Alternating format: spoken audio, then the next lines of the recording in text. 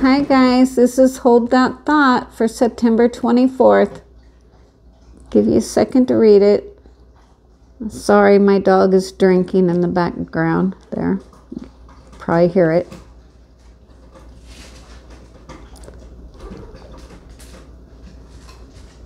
And now she's walking across the wooden floor, so it's loud. Okay, one of the hardest lessons we ever have to master is accepting that all fear comes from within. How true is that? It's so true.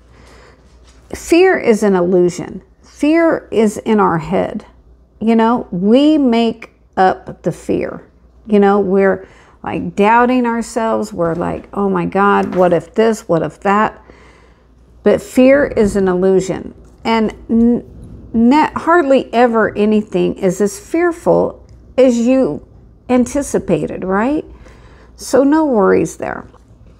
Um, however, it says, however, major are the external circumstances assaulting us. So yeah, try not to let fear get in the way. You know, just try not to. I know it's hard. And I do it all the time. I let fear get in the way. But I'm working on it. I'm working on it, trying to calm myself. It never, you know, hardly ever is anything as bad as it seems. I mean, sometimes it is, right?